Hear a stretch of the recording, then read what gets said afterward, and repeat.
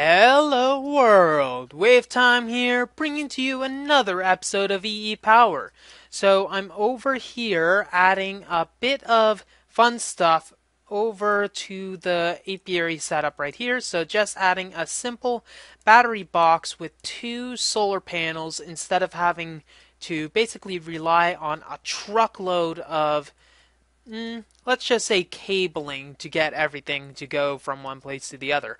We're going to need to add a bunch of covers. I think a traditional stone covers system to go so that we actually have a floor and ceiling again. But for now, I think this is good. So what I think we're going to add is a manager here. And that should be good. And we're going to need to add the accelerator to one part of the system. And it seems that this manager is only going for this part of the carpenter. So at least we know that it's not this, the bottom, that we need to hook up.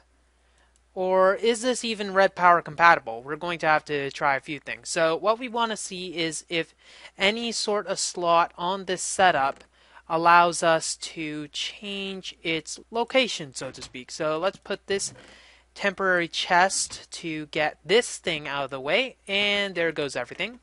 Let's see, there we go.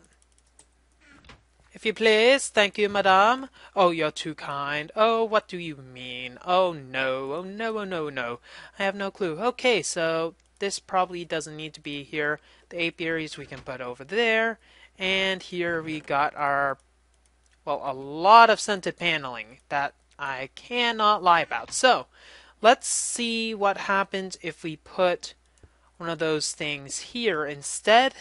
Manager, please, if you would be so kind, let's see what you speweth forth. Spew! Or not spew. I guess it's your decision. There we go. And we got all the stuff in this inventory. So what that means is that the stuff that's on the side, basically we have to hook this thing up to the side and then we'll be able to have everything issuing forth.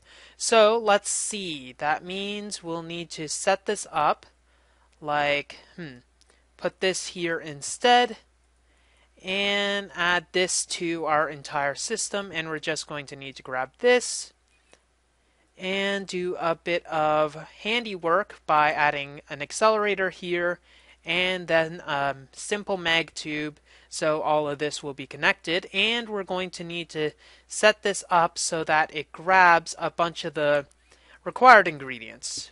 Let's see, uh, wood. Do we have much wood? Yes, we do. We're going to want an entire stack. So let's get one stack of wood plus change, I suppose because it is something we're going to have to change and we'll want exactly one stack of wood. So we'll order one stack of wood from wherever this stuff is going to come from, and eventually it's going to pump in from the system that's way over there. So here's one stack of wood. The rest is getting sent backwards because it cannot be accepted. And there it's sent way the back way the back over there. Yes, indeed. Um, hmm. That might mean that we're going to need to basically lower our buffer amount, but as long as we have all this, I think we're good. So at least one stack of wood, stuff in here. We're going to want one stack of beeswax, I think, which it won't be able to get yet. And we're going to want probably half a stack of royal jelly, half a stack of pollen, I know it's very appalling. And then we got the royal jelly, we got the pollen, we got the oak panelings. I don't think there's anything else. Now another thing we're going to want to add is probably a sorting machine to pull everything out. Uh, okay, so how are we going to get items that are not normally like that into here? What we'll probably need to do is just hook up some mag tubes over here to some sort of system that'll grab the stuff automatically, hopefully. Um, or we could add a bunch of managers to this, but it's probably more costly to do that. Could add it manually? I don't see why not. But is there any point in having such a full manual effort to get everything? No, not really. So if we just put an accelerator and a manager here, with a chest here, it might be the good idea. So might be a little cluttered though, so let's actually see what we can get. So here and here, if we put a chest here, that might be good. Hmm. No, it might not be even. Hmm. Now, what I'm trying to get is so that we'll be able to have a certain amount of royal jelly, pollen, etc. to pull from to get into this system. If we don't, there's almost no point in having this set up, and pretty much we have to go off to the races instead to get any sort of uh, royal happenings to happen. See what I did there? No? Good, because I didn't either. So, let's just pause a bit and see if there's any sort of elegant solution to our problem. Because if there isn't, we might have to go with the default situation. Maybe could grab a put a chest here and when it gets full of the stuff that we are pulling from, or we could just pull from here. Hmm, let me think for a moment. I suppose for now what we could do is just set up an initial system that will at least hold all the items that we can and don't have some sort of ready access to. So what we'll do is throw the royal jelly, beeswax, and pollen into, into the manager. I know it's very appalling, but uh, we do what we have to. And gather this one chest that we have, and we'll have a bit of a not so automatic you know, putting it over there might be a better setup. Now we still need to have a chest that'll get all the scented paneling. Which this chest is going to need to be a part of anyway. So let's get this down again and move this so that it's right next to it so that the chest will be here and have a much more centralized access and it'll be able to access the energy much more readily and be a little closer, so to speak. So let's see. We'll need to have this as a not so exact quantity and get one scented paneling for now because we will want to route a method to get scented paneling as well and it just got lost into the ether. Well, Apparently, that is not exactly what we wanted to do, so let's just put that back in so we have a bit more understanding of what we need to do. So, as we saw before, we are able to pull items out from the bottom of this. And also, we don't have the required any of this really, so let's gather a bit of this so that this can get equalized and started. There we go. And it is jammed up for some reason. Is there something that I can't put there for some reason? Hmm. Let's see. I put beeswax and...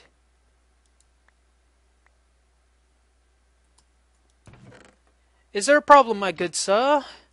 No? Then why the heck are you doing that? I have no clue. I have no clue. Okay, so let's try that again and it's outputting the items, but for some reason it's not liking what it was doing before. So we have that exact quantity. There we go. I guess I wasn't giving it enough equalization time, or the beeswax is just not liking it right now. Do we have beeswax here? Yes, we do. It should be able to accept any amount. Ah, there we go. It's equalized or it's just going to stay jammed for some odd reason. But we'll see what happens in the future. This might take, maybe it's jamming with some sort of wood as a byproduct. I'm not too sure. We're going to have to watch as this system goes on a bit longer. But for now, I think this is good. So what we need now is to get a simple uh, sorting machine to be able to pull all the scented panelings out into that repository chest. Once that is done, we'll be able to think of some more complex method to automatically create all of the alveary blocks that we are going to need because the alveary blocks are the base ingredients. And all it requires are some impregnated casings, which is going to require wood and a carpenter, and the seed oil. Thankfully, we have a healthy supply of seed oil already, and we got all the other things that will be required. So let me make a few sorting machines I think should suffice.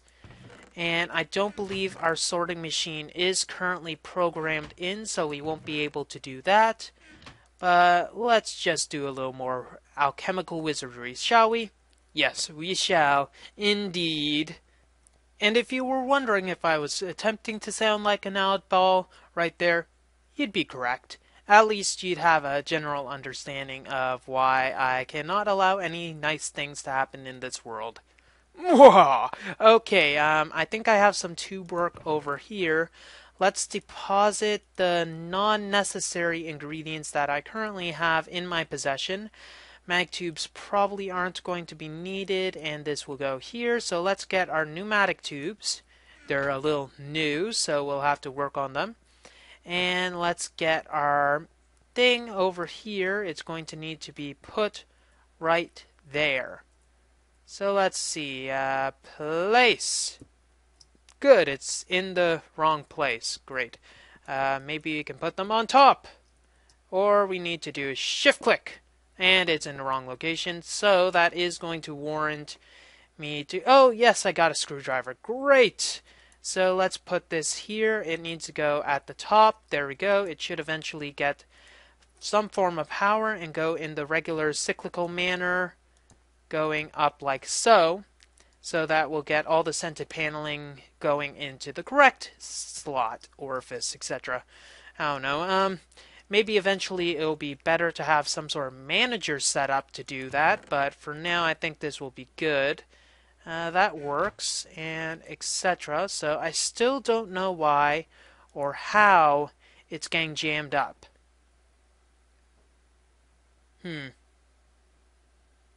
Let's just watch it, see if anything buggy happens. Maybe it's due to some sort of wood or something.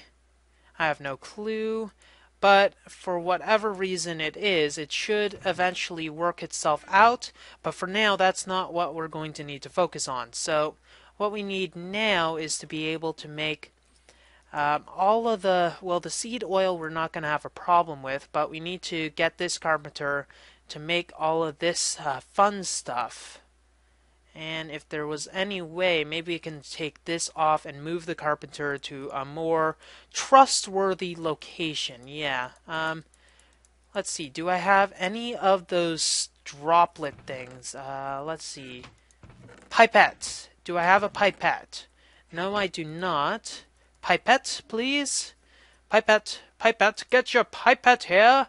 It is going to require wool and glass cover panel thingies, and I got the wool at least, so we're going to need to fight around for a little glass. I'll, actually, I have a good place that I have glass, so let's quickly get some of the glass and then move onwards. Now, I'm not actually 100% sure on how much this pipette can grab from a system, so we're going to have to play it cautiously. Let's take that off and put a pipette here and apparently it's only up to one bucket amount. Do we have any sort of cells that we can use instead? Because cells might be uh, more likely to work. So cans, here, go. Arrivederci. Right click, left click, middle click. Middle finger? No, not gonna work. Okay, so we're gonna have to waste some of our stuff over here. I suppose I could have used it. That might have been a little more preferential, but whatever. So, Carpenter is going to need to be placed in a power location. Maybe here.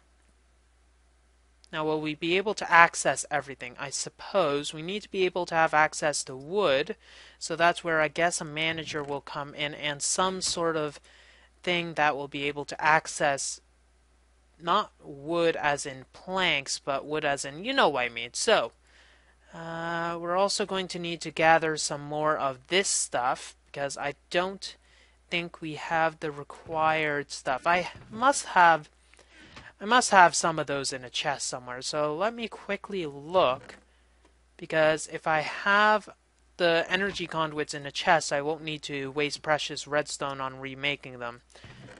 So let me actually this will be good enough for now. We'll worry about anything else later, but for now this is good. So squeezer, some more wasted stuff. At least it's going to be only a few nuts and bolts. Hopefully just nuts though, because I don't want to lose my bolts.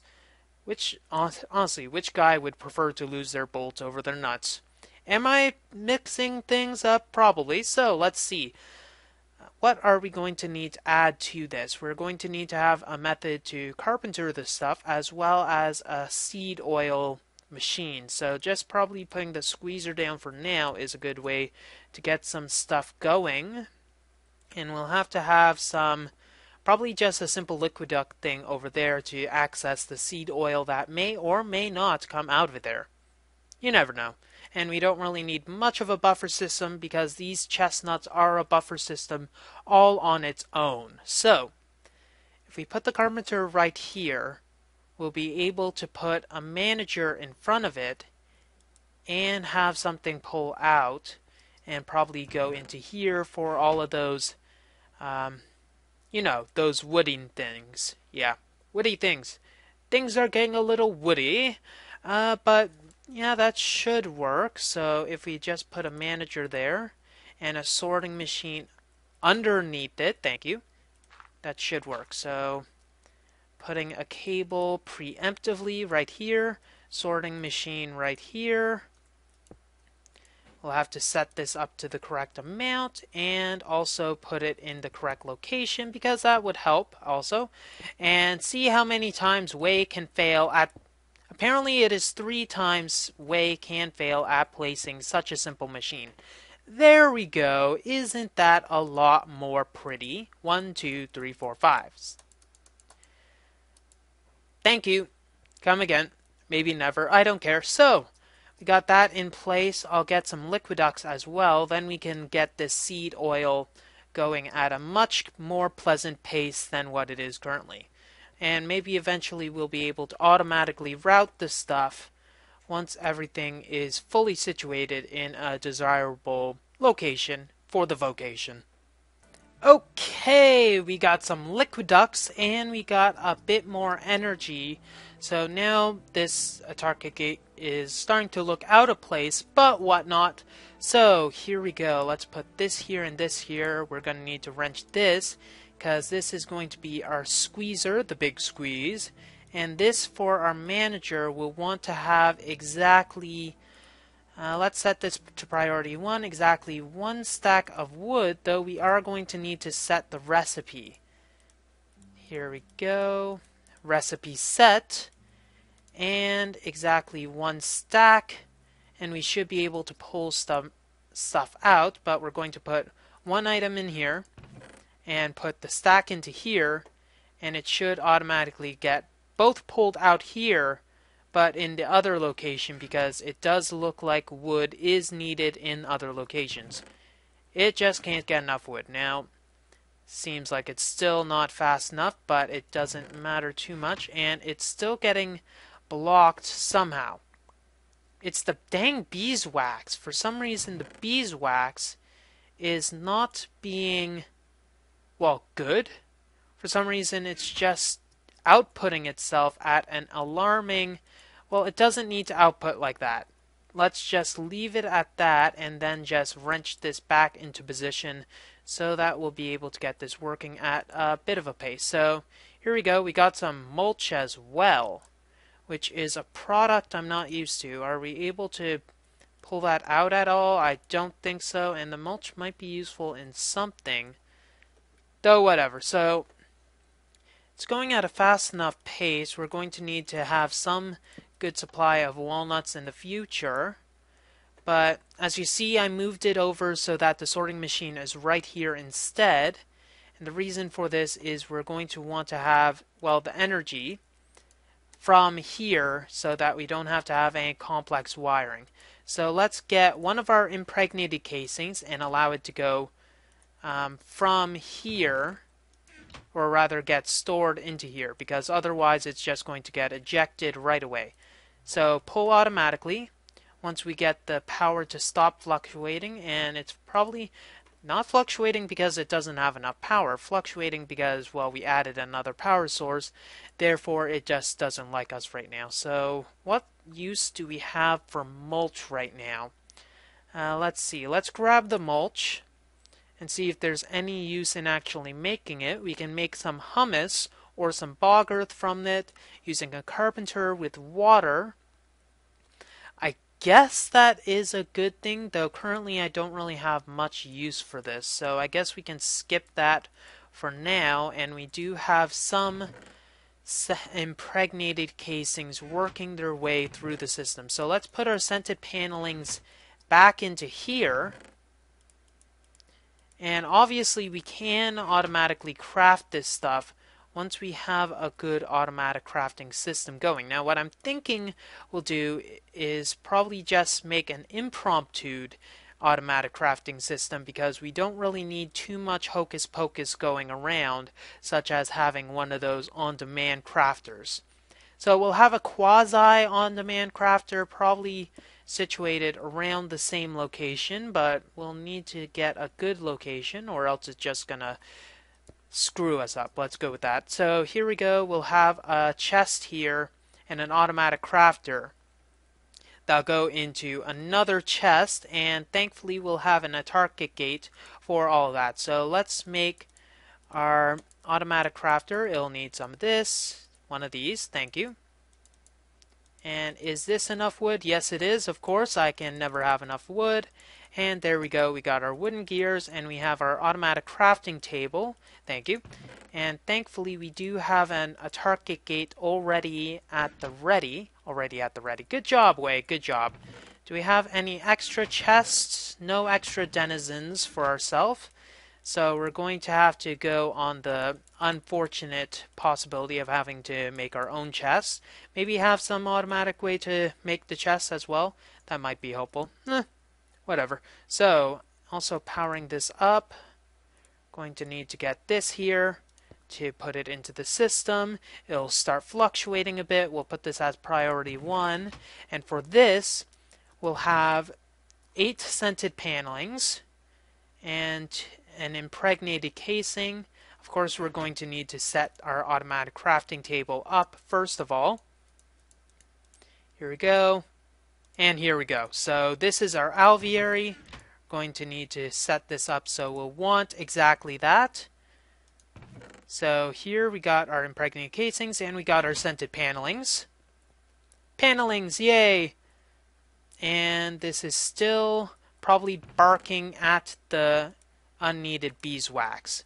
Though I guess I'm okay with that. So all that we'll have to do is set up the simple wooden gate. Now, I believe there is something called an emerald pipe that has been added.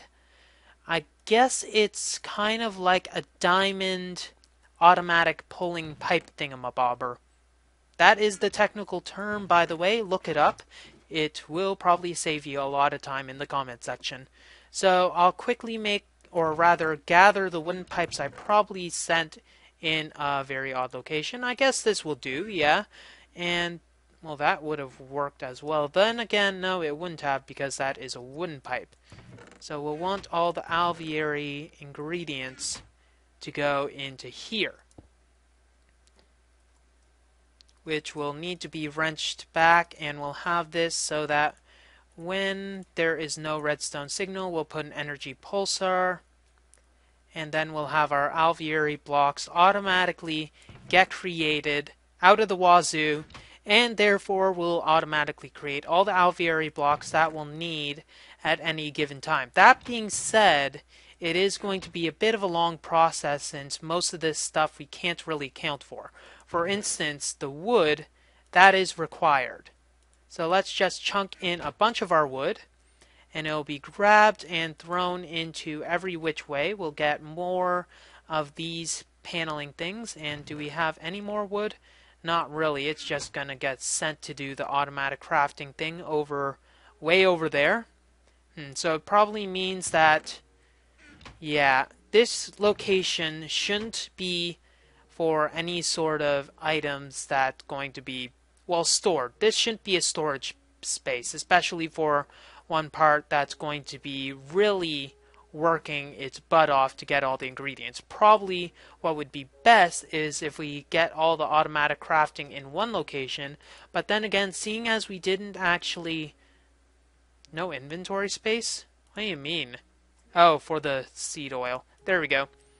Seeing as we don't really have any buildcraft power over there, seeing as the conduits are bloody expensive, we can't really add it into any system. That being said, considering we got mag tubes, eventually we can probably throw in a conduit system that runs parallel with this, and it'll probably be a lot better than what we have right now.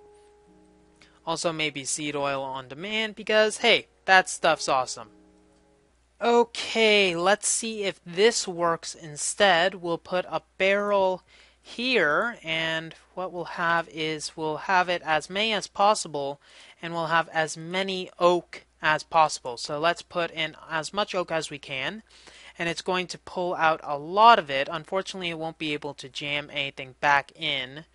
So hopefully it'll just jam it somewhere instead. Then again, it might jam it into this wood location. I'm not even sure how much wood this woodchuck can chuck. So there might be some things that we have to change here, some efficiencies that might be needing to be gained, seeing as the fact that this is almost out of wood already. So wood is getting shoved somewhere probably getting shoved into one of these chests. So let's see if we can gather this chest. No. It's automatically being crafted probably over here. And we can't access that, so there's no point really poking around. Hmm, maybe it's just getting lost in transit and can't get sent back here because there's no filter. I can probably put a filter back onto that location, or we can no, that won't work. Anyways, so we should have at least a temporary wood supply. I have no idea why I'm throwing those out, but whatever. And let's set up our next alveary, and actually let's set up a heater. So an alveary heater should be enough. If we can find the actual heater anywhere, that will be helpful. Um, let's type in alveary instead alveary heater, heater? Alveary heater, there we go. So it requires an alveary, uh, golden electron tube, and stone. That should be simple. Do we have a gold or redstone in here? Yes, we do. We're just going to need to get the redstone component of that and get a little stone. Got some stone. Let me just quickly get the redstone component and then we can Oh, I know where I put those. thought I had a bit of an epiphany, but apparently I have not. I thought I remembered the location of where a bunch of my stuff, i.e., more importantly, redstone energy conduits, were, but apparently I was barking mad. So let's see how many alveary tiles we managed to make. We managed to create 40 of them, so that should be enough, and we're still making more. So this setup is definitely doing its job. Let's grab in one more of these because we're going to need to make another component that is very necessary for our alveary. We're still going to need one more of these, so let's quickly get it before it's taken off of the shelves, never to be seen again, because that is kind of unfortunate.